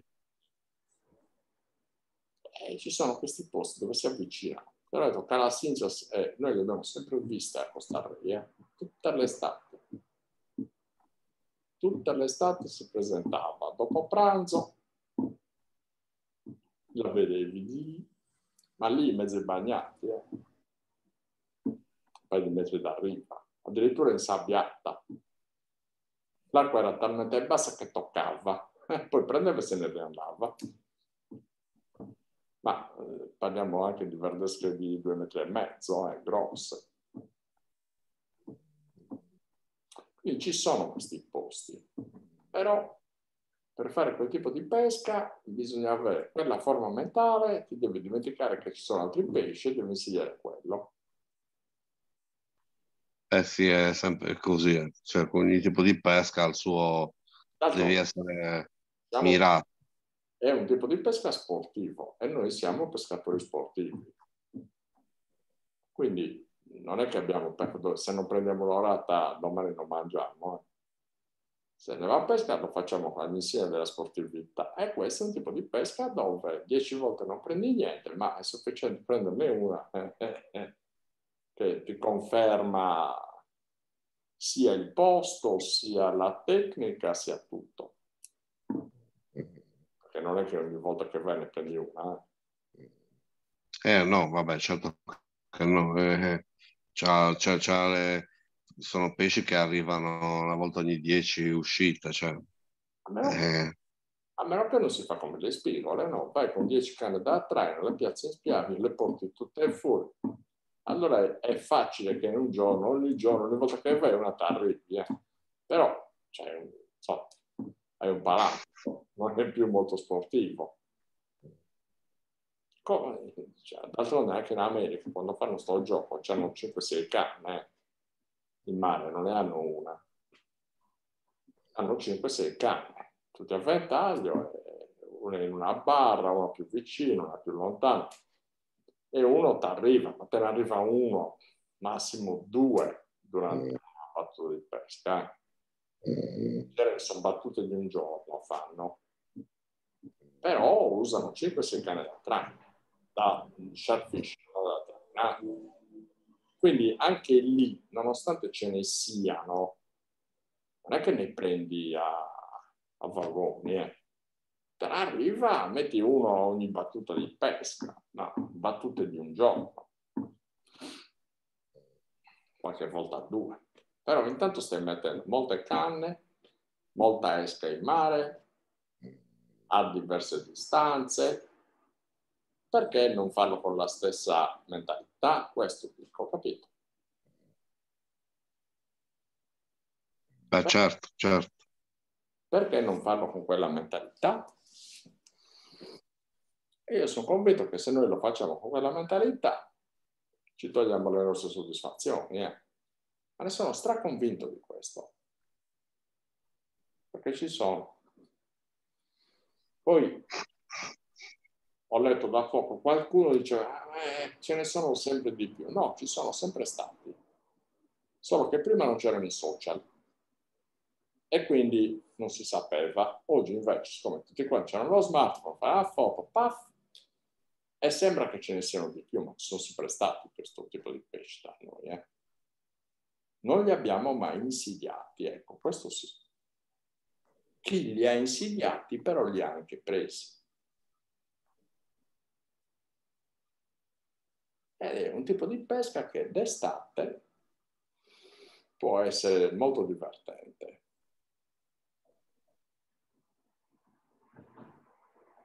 Franco, Anna, voi da voi avete esperienze di questo tipo? Ma da noi abbiamo una situazione dove abbiamo spiagge basse per un lungo tratto. Eh, queste cose sono possibili nel centro del canale. Bisognerebbe spostarsi verso Lampedusa, su, su quella zona lì. E lì altro che ci sono, lì c'è il, un- il mondo di queste cose. Eh, tutti i tipi di squali bianchi, verdesche, è facile trovare. Nel, porto di Lampedusa spesso, spesso entrano, non è difficile.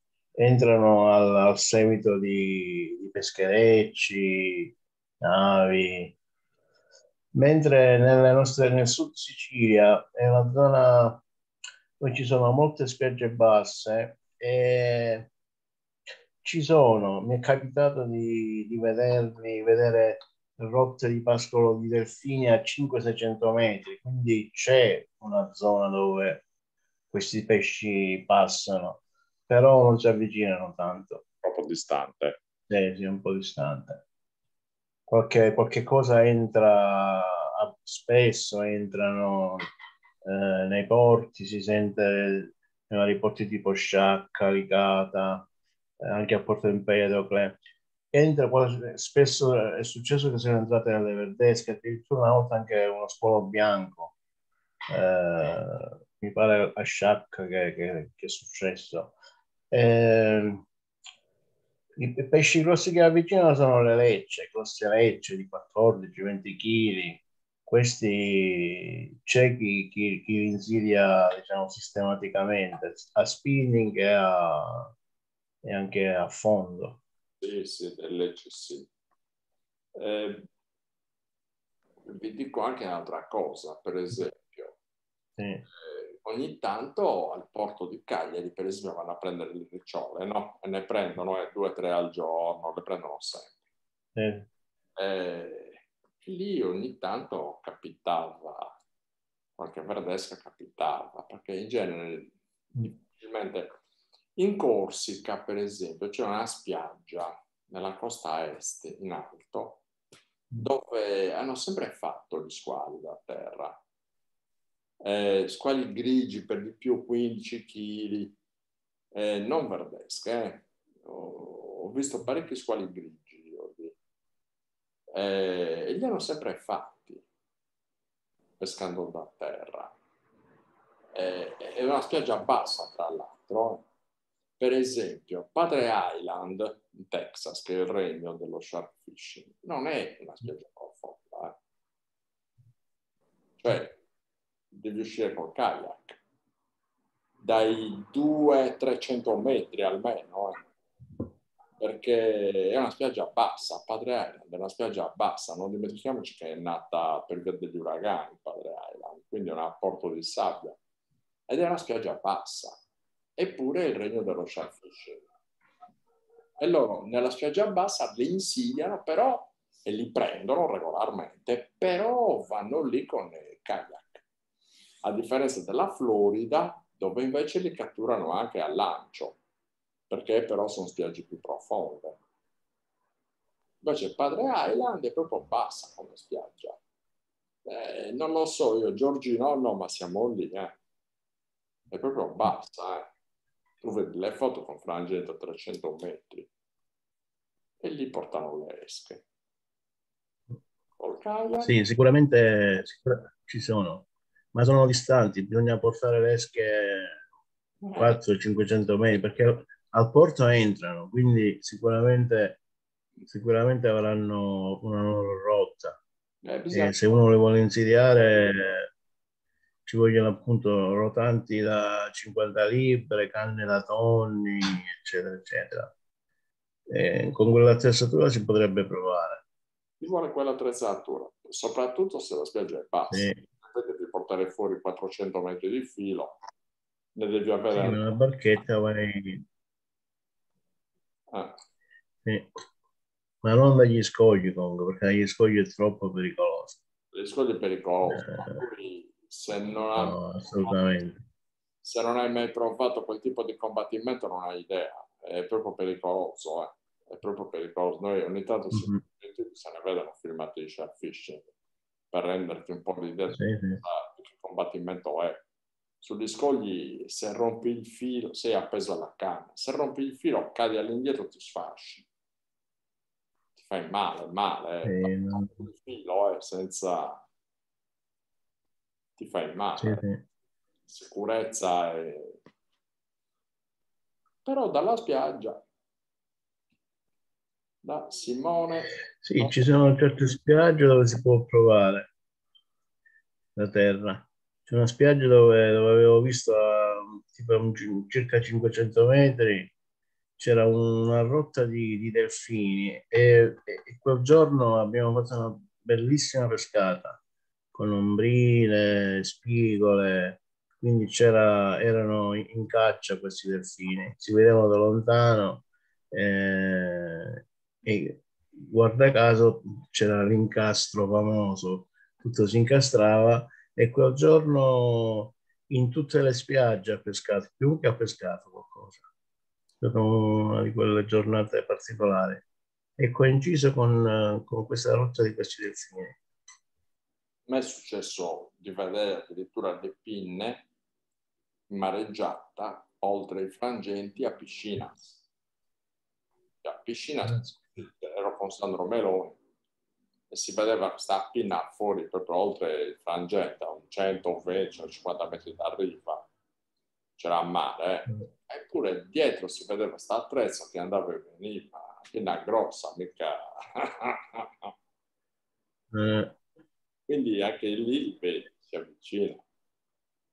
Ci sono, ci sono questi posti dove queste cose succedono e lì è il caso, soprattutto dove poi ci sono tornare, dove sono tornare sei sicuro che succedono, perché c'è il passaggio per forza obbligato, preso un'autostrada lì.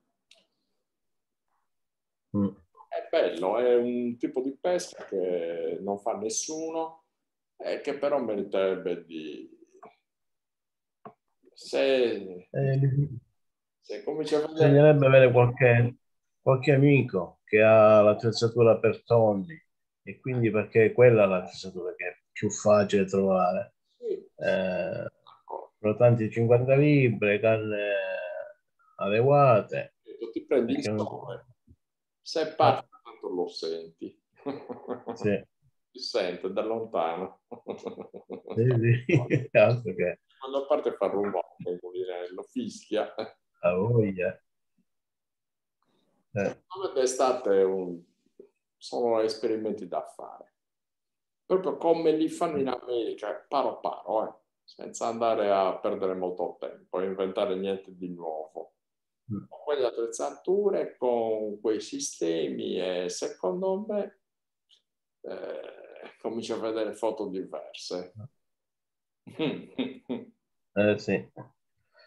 Comunque anche in Florida io ho degli amici mi raccontavano che gli squali entravano in acqua per 10-15 metri e gli squali gli arrivavano a tiro di canna, pescavano così a, con la canna in mano. Ah, pericoloso, pericoloso, però pescavano così, si avvicinavano tantissimo.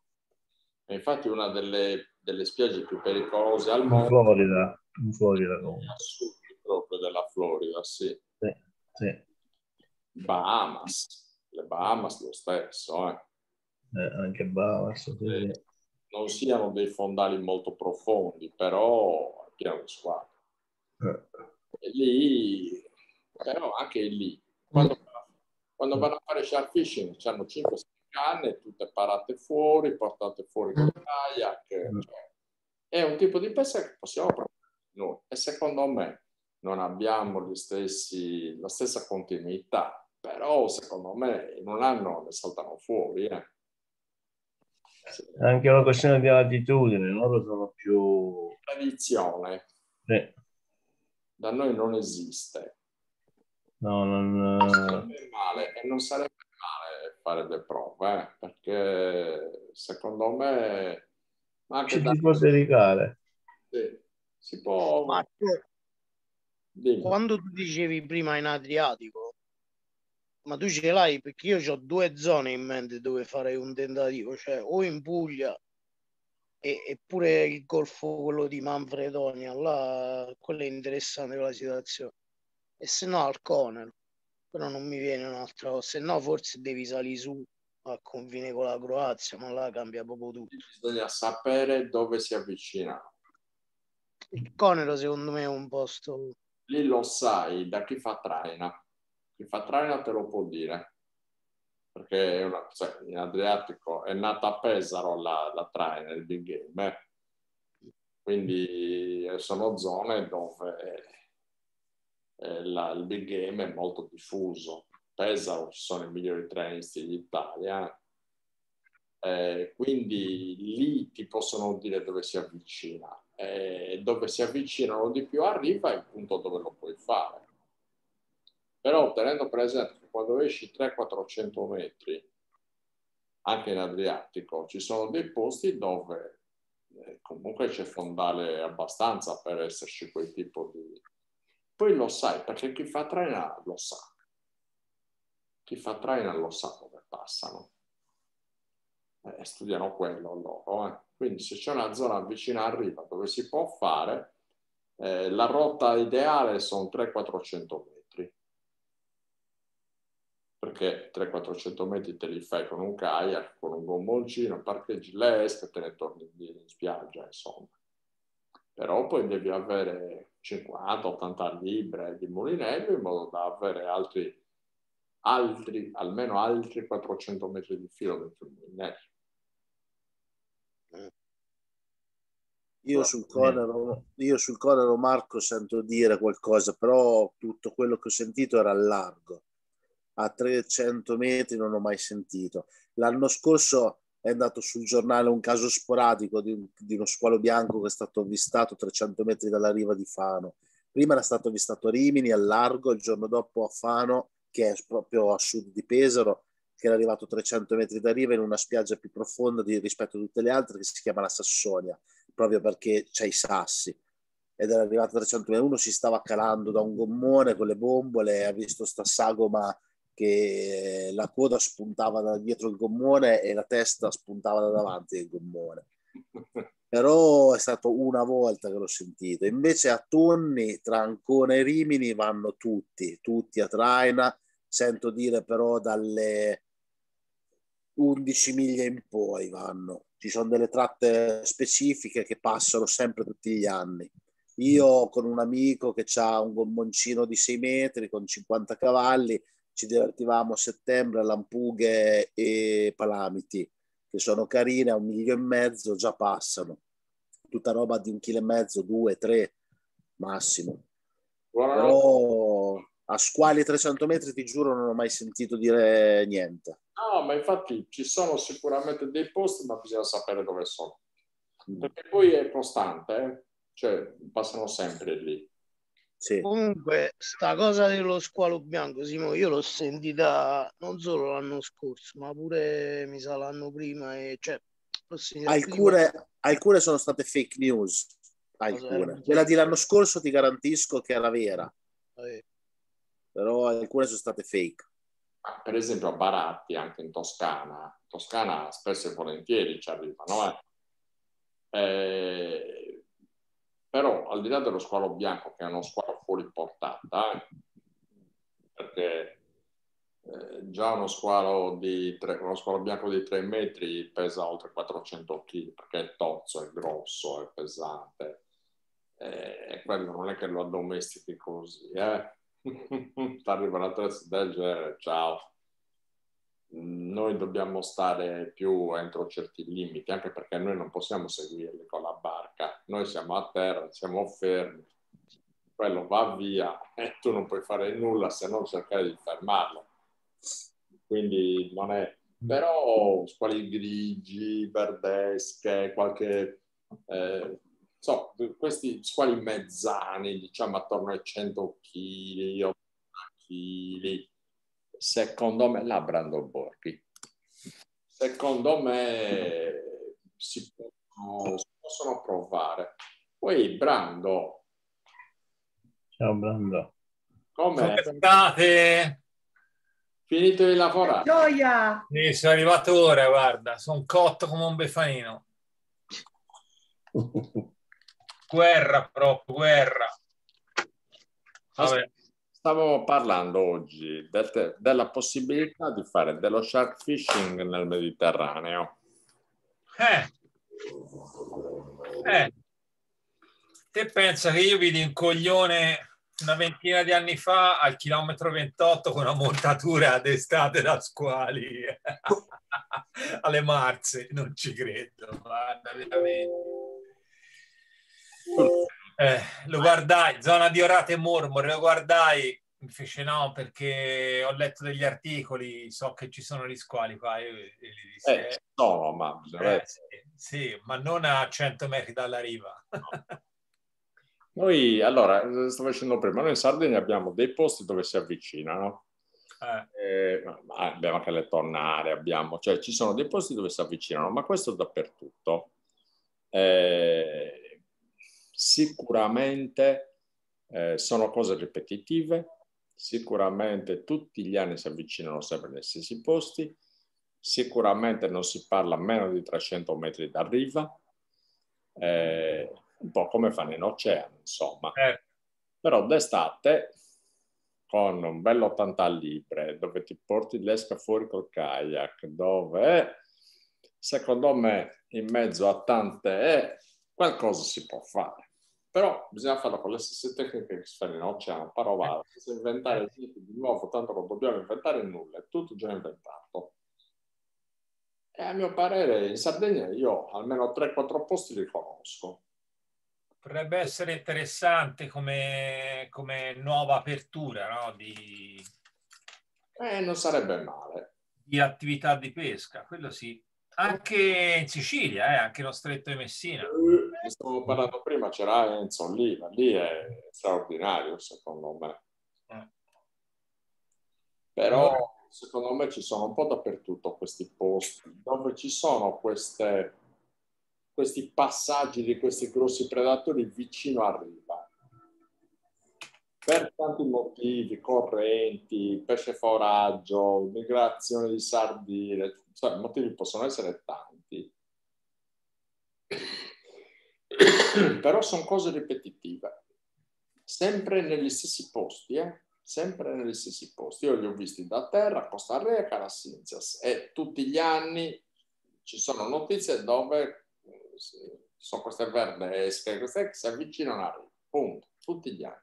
Scusate un attimo, c'è una telefonata. Eh. Sì.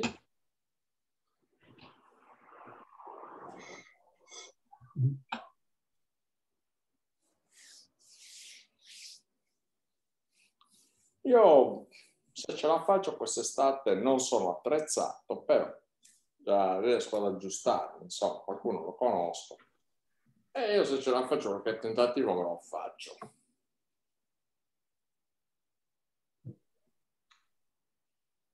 Poi, sai, facendo sto gioco, non ti arriva uno squalo, ti arriva una ricciola, ti arriva un alletterato, ti arriva un tonnetto, ti arriva... Perché d'altronde pesci grossi a insidiare, pesci grossi... No. Brando Borghi dove? Ah, sì, chi è che è uscito?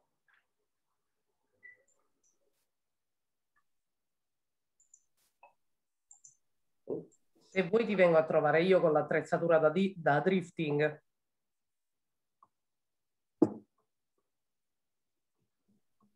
Eh, notizie, Cinzia. Da me, allora, dove c'è più fondale, non ci arrivi dalla spiaggia, il problema.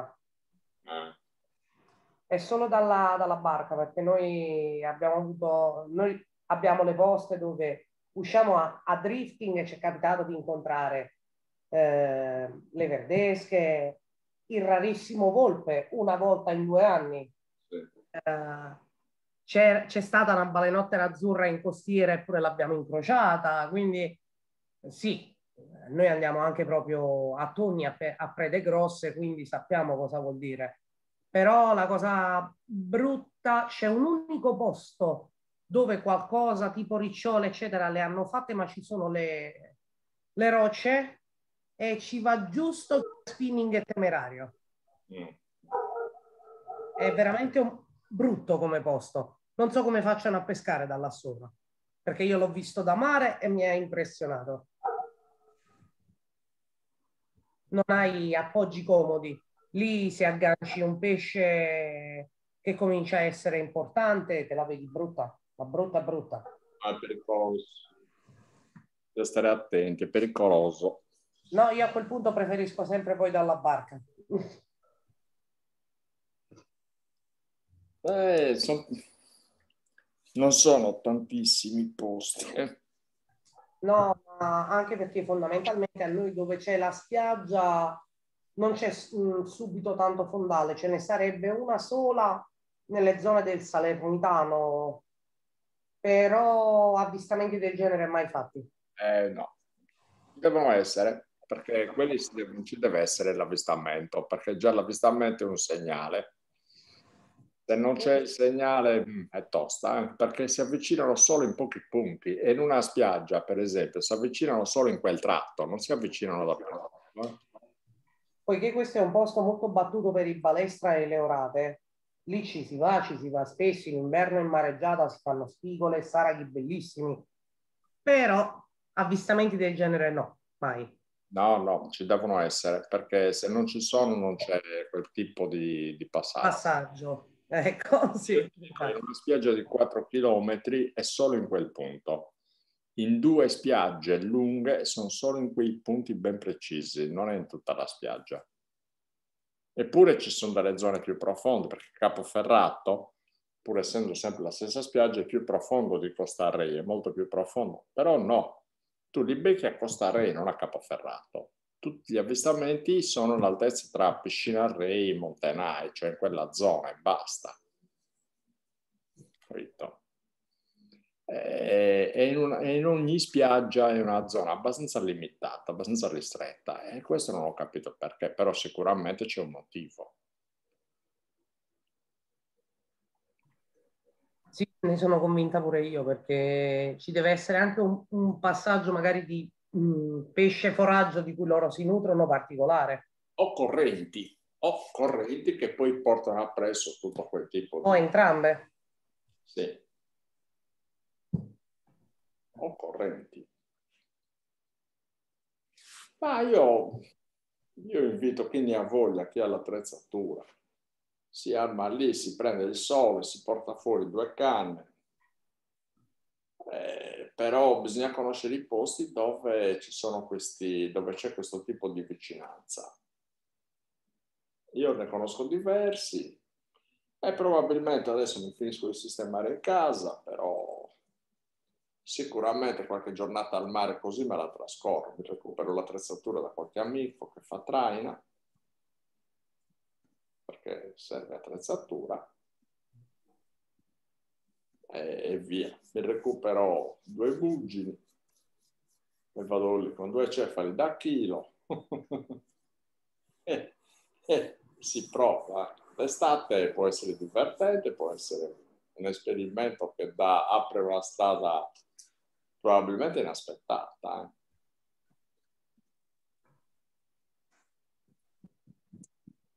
Eh.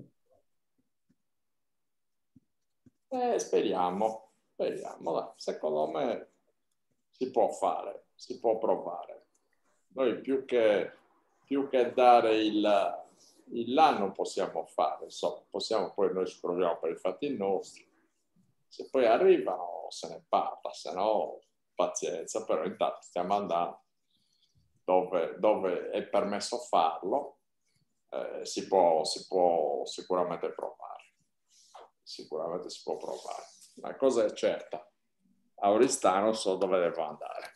Quello poco ma sicuro e so che sono stati sempre fatti, quindi eh, lì vai quasi a colpo sicuro. Eh? Mm. Li hanno sempre fatti, quindi tutti gli anni, ma anche decine, eh, parliamo.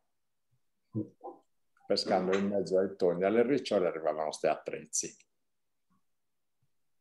E questi, tra l'altro, li vedevano male perché non se ne facevano niente, li impegnavano in combattimento lungo lungo, perdevano tempo e basta.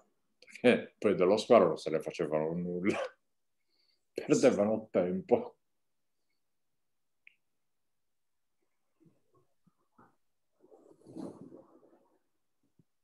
Va bene ragazzi, chiudiamo la registrazione e vediamo un attimino di parlare invece di altre cose nostre. Grazie a tutti, alla prossima. Ciao.